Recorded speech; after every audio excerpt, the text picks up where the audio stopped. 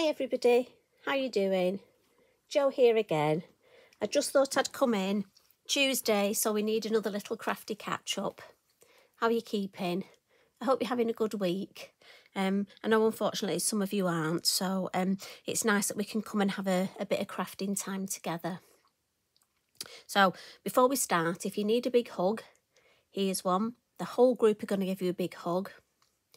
And the second thing is, don't forget, get that brew because we're going to have a nice catch up. And today we've got some new things to play with. So for those of you who aren't aware, but I can't believe there's anybody who isn't aware, Lavinia have brought out some new sprays. Now, these have been two years in the making, absolutely fabulous. There's two different ranges. The first is an acrylic spray. These are fabulous, permanent spray, absolutely brilliant to use. I've just got two colours here today and I want to show you how just with two colours I can create fabulous pieces of work. But also, sneakily, Tracy put into the mix these mysticals and these have got a mica in them. So these are a mica spray and these move with water. So again, a great addition to the mix. And I've only got two Blue Moon and a Chestnut Bay. And again, I want to show you various ways of using them. Before I start, I just want to say I've got a non-stick craft mat down just because I don't want to put any of my spray on my Lavinia mat. So that's just me, you know, belt and braces. Um, and the other thing with these sprays having mica, I mean, a couple of things first. I always recommend shaking any sprays, um, and I tend to do it side to side. There are various trains of thought of this, and you know me, I always say you go off what works for you. Um, I think sometimes in the craft industry, people can get hung up so much on rules. I know when I started, I used to put things on, and people had messaged me going, "Oh, you can't do that," and it really shot my confidence. Um, and I think sometimes by playing, you come up with new techniques. I mean, hints and tips are great, but I think it's awful when people actually tell other people what they can and can't do.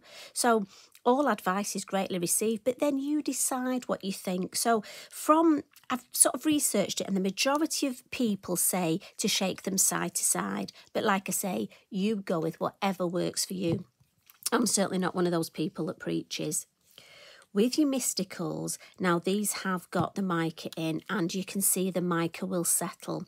So they definitely need a good shake before you start. And literally a couple of seconds and you'll see that mica has infused in there. But the main thing for me is when I've finished using these, what I tend to do is fill this with water and I go into my utility room at my sink and I would just take the end of this into the water, take the lid off and just spray on the side of my sink. You could use a piece of card if you wanted, um, make a spare background. And I just spray until that water's gone up through the nozzle and come out and then it's running clear. I hope that makes sense. So that that way I'm just spraying water. Obviously be careful not to knock this over and it just helps clear any mica because I don't want that little nozzle there to clog up with mica and for me that's something that I've discovered in the past that can happen. So a little thing I just wanted to point out for me, that's what I always do at the end whenever I've had a play session. So hoping that'll help. And again, just a an old pot, you know, good excuse to eat one of those nice puddings. Well, it is for me anyway. Now, the sprays. Oh, so much you can do with them. Got to be honest, love creating backgrounds. This isn't a video on backgrounds because I know Tracy's done a lot of fabulous technique videos with the backgrounds. So I don't want to redo what she's already done because, you know, why would I? She's amazing. So Again, I just have a spray session, use my spray booth, and literally, um, the one thing I will say is make sure you've got plenty of card because you will go through card. And I love to let them dry. Don't be very opinionated almost as you're doing them. Once they dry, that's when you really see. Um, and I love to have a stash of these. Look, these were just offcuts. But that, I'm thinking I'm going to cut a tag out of that. But these will be great for those days when your mojo's gone and you don't know what to do and you'll pick one of these up and suddenly think, oh, right, oh, a seahorse on there. I'm thinking, yeah, underwater, you know, and they're perfect for that. So backgrounds. Right, let me file those on the floor. Um, I made a tag when I was making the backgrounds and again, just stamp that up. And beautiful to stamp on top of. Some ladies have messaged me asking and I've just used my VersaFine Clair. I know normally on acrylic spray, especially acrylic paint, you would use an archival ink pad. I've got to be honest, I haven't had problems with the VersaFine Clair, and that's the one I tend to use, so that's the one I'm sticking with. But again, you use with whatever suits you. Little card here just to show you where I've done a resist. So again, remember that technique, stamping first with your embossing powder and then adding your spray behind. So much you can do with them. But we're not going to do that today. So now I've shown you what we're not going to do. I'll show you what we are going to do. We're actually going to paint with our sprays because like I say, I just wanted to show you something a bit different. So we're going to create this design and we're going to be doing some painting with them. Like I say, thought we'd do something a bit different. So we're going to start off with a piece of this multifarious card and I buy the A4 sheets, but I've come in with the um, the off-white, sort of the creamy colour. I just thought it would be nice for a change. And I've cut mine down because I'm using a five by seven card. I've gone for four, and a half inches by six and a half inches so that I've got room for my matting and layering. And we're going to start off with some stamping. I have already put my black Sharpie line round because I thought you don't want to see me doing that. We want to get into using these fabulous sprays. Now, the stamp I'm going to use today is this beautiful one called Seed Heads. And again, I thought I've not used this for a while. And I love this because we've got a silhouette and an open one. So I'm thinking perfect for painting. And we'll just do a little bit of stamping. We're going to concentrate on this bottom corner. So I'm going to stamp the open one first. Now again, depending on how much actual painting you want to do, obviously depends on how many times you um you stamp your design. But I, I mean, you know me, I love to just sort of relax and lose myself in the world of, of painting. Now this one I'm going to put the first one there sort of from the corner.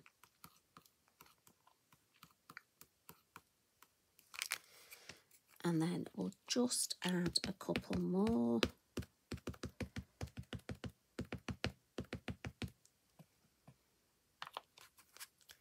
Now if I add one next to this, it almost tessellates. Look, I like that shape. It looks like it was built to go next to itself. I don't want to I want it to almost look random. So I don't want to put an open one followed by a silhouette followed by an open one because I think that would look too contrived.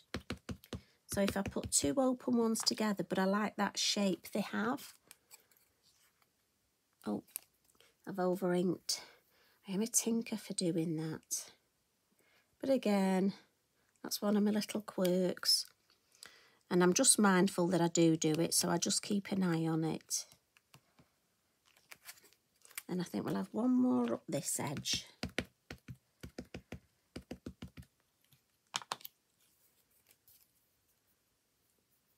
It's funny, some stamps I seem to over stamp more than others. Over ink, I mean. And then I'm going to one more, just want to alter the angle there. So it's almost fans out. Now, we come in with the, the silhouette one. And we'll just add a, a couple of these.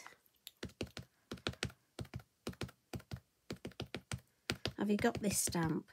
Must admit I bought this quite a few years ago.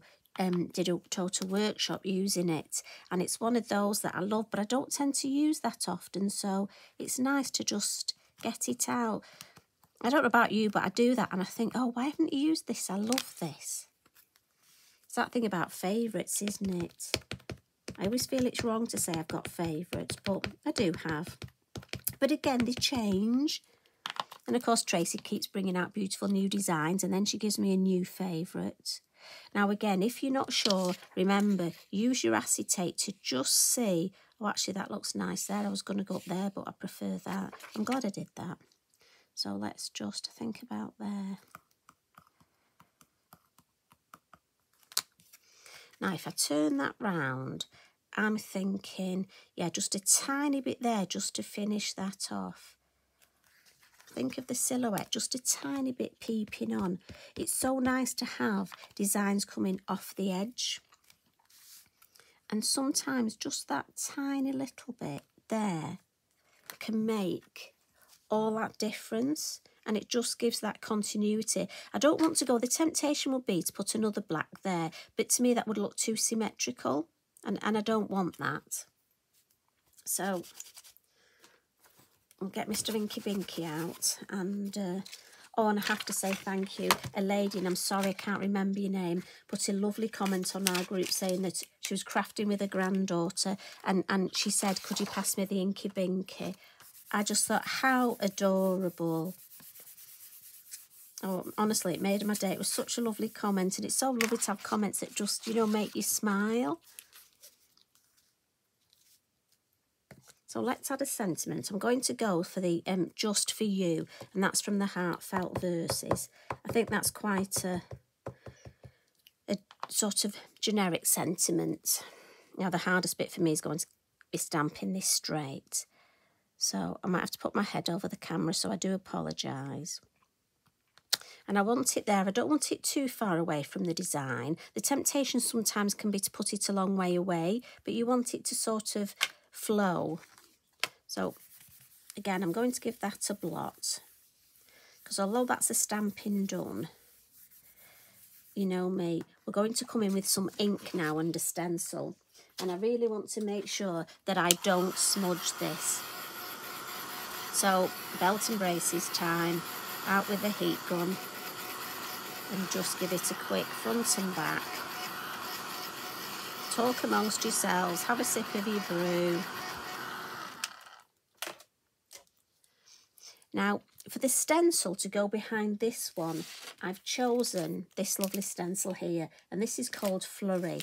And I just thought with it being sort of leaves, and I'm going to turn this round, and it's a lovely size this. It means i can position it. And I almost want the leaves to flow this way. So again just spend your time getting it so it looks nice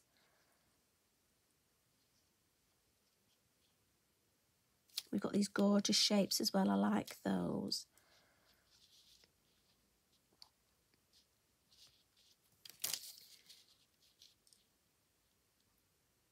Right, I'm happy with that. So I'm going to come in with my Elements ink pad and I've gone for this lovely Lime Punch, this zesty colour. Now I'm just going to wipe my stencil brush on my Inky Binky because I think I used a darker colour. I think I had a bit of Bermuda on here. So I'll just clean that up a little. Right, sleeves up. So again, just take some off on my lid and I just want it darker in the corner. But again, it's a nice light touch, remember. We're just tickling. So we're just going to start in the corner and along the edge because I want those darker and I've got more ink on my stencil brush. And then as I come into the design, I'm just coming lighter, lighter, tickle, tickle. Now I can see if I wanted to avoid where I'd stamped, I can see through the stencil, but I'm quite happy having my stencil work over, but it's coming nice and light up here, so I know it's going to be light around the sentiment. So let's lift it up and have a look. Yeah, that's lovely. I love that difference in colour. I'm just going to add a tiny bit more here. And again, I'm not inking up again. I'm just tickling Tickle, tickle, tickle.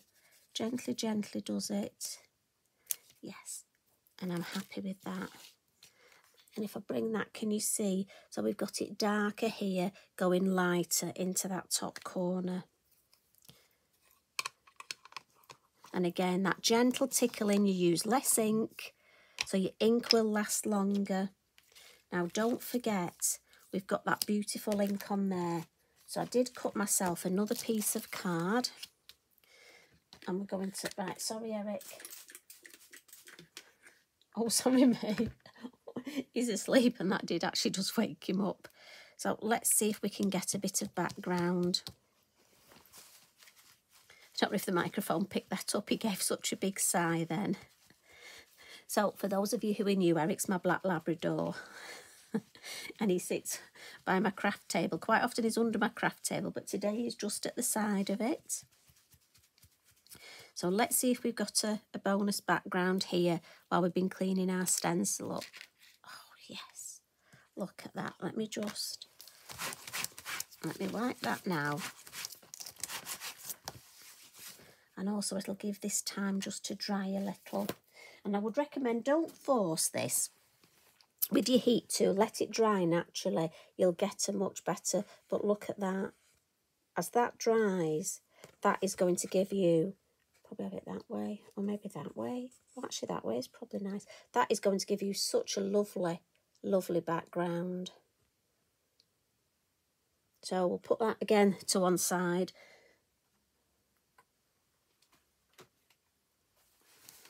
Now I have got a, a, I know you always ask me about these backgrounds, so I have got one stamped up, which I'll, I'll show you at the end.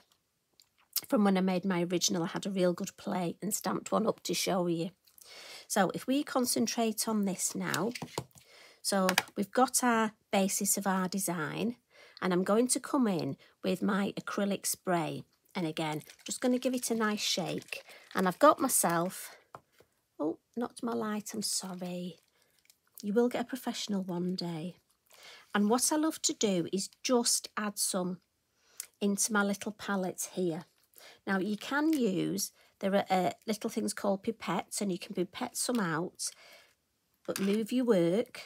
But I'm just going to tip some out. So I'm going to take my lid off. I could spray some, but for me, I don't want to spray it everywhere. So I'm just going to add a drop in here. And again, I am stingy. Need to be mindful just to wipe round here. Always make sure you wipe things. And this is why I'm not on my Lavinia craft mat in case I spill any. And what I'm going to do is we're going to use this for painting. But while we're at it, we're going to add some of the lovely mica. Now again, give this a good shake. And I just want to check all my mica, which it has, look, is all mixed in. And again, I'm just going to tip a little and I would use this palette all day. And again, wipe and put my lid back on. And then what I've got is I've got my Lavinia, as you know, my favourite, my number one. And that's in my water pot. And I've got my piece of kitchen towel to lean on and we're just going to, now a little tip, I always just sort of mix with my brush, especially if you've left the colours. Sometimes if I go and have a brew in the garden and come back, um, I just remix the colours. And again, remember, twist your brush, keep it that lovely point, and then all we're going to do is paint in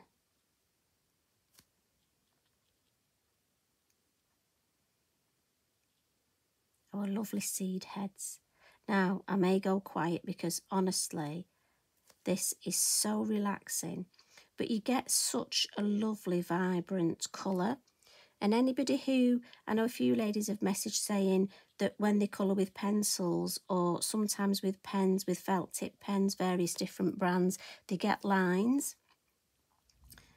And this is an ideal way, if you're one of those ladies, that you'll get fabulous results and dare I say for very little effort. And again, you will take longer. You know me, I'm always conscious of uh, keeping you too long. And again, I'm just working my way around each area. I tend to do the um, painting the furthest away first and then walk, work back towards me just so I've less chance of actually putting my hand in the area where I've painted. I'm hoping you can you can see you know me, I'm liable to just enjoy myself and go completely out of shot. And the sprays will last you for so long.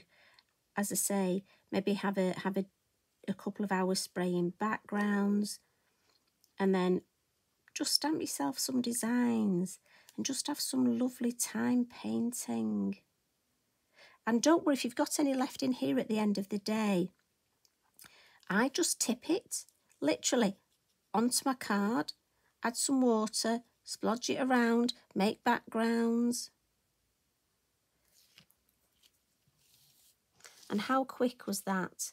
And you get the most, again, so this is the acrylic I'm using, so that is going to dry. Now, if I wanted, I could come back in at the base, look here, and add a little bit of shade. So just come back in with a second little amount just at the base where I want a little bit of shade. And again, being mindful to turn my card, it's amazing how quickly it dries.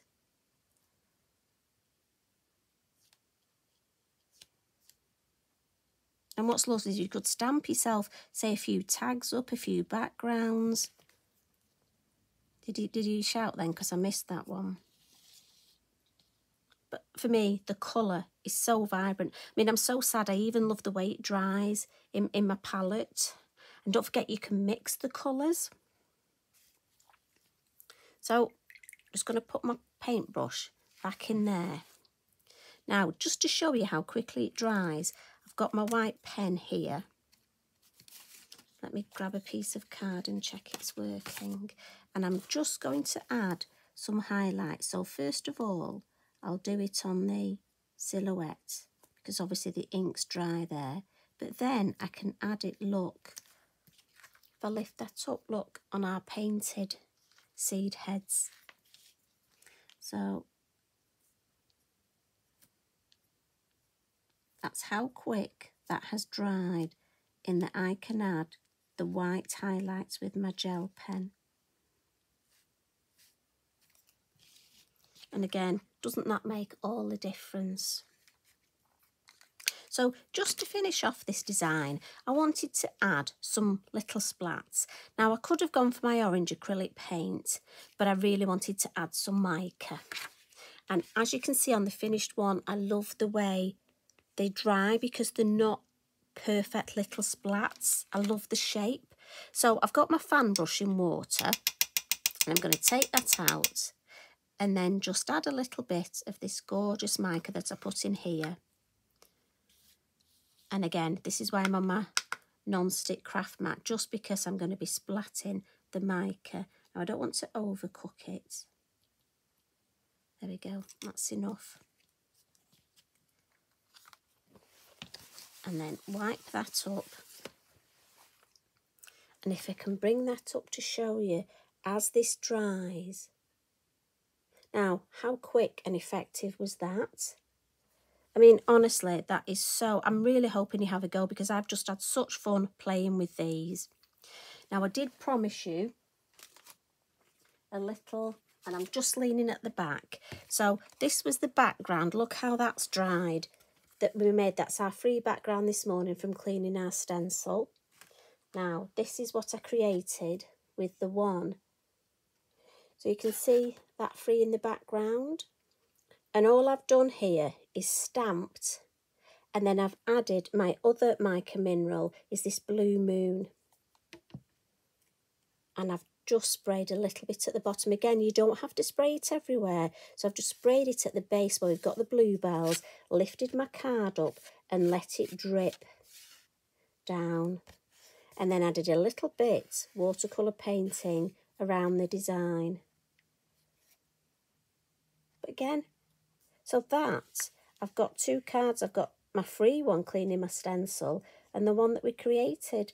And I've still got plenty of um, my sprays in here ready to paint another design. I have to say I've just stamped the honeysuckle stamp and that is going to be beautiful to paint in these. So I'm just going to put that to one side because you know me, I don't want to knock it over. And I'll bring in the original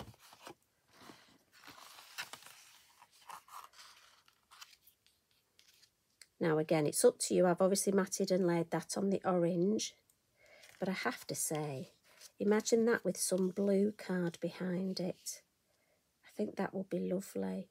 So as I say, simple stamping and then just adding more. So this is painting with the mica, with this one, the Chestnut Bay. And again, I just lost myself. So I'm hoping you have a go. These sprays are absolutely fabulous. Create backgrounds, use them on the gel press, use them with your stencils, and use them for painting. Sorry, excuse me. I nearly got through the whole video then, didn't I, without coughing or my voice going. So I do apologise. Sorry about that. So I'm hoping when you get these sprays, you're going to have a real good play and actually use them in so many different ways. They really are not a one trick pony. They have got so much more up their sleeves. So you take care, everybody. If you share your work, please tag me in. I love to see what you do. And um, let's spread the love. Big hugs to everybody. See you soon. Bye for now.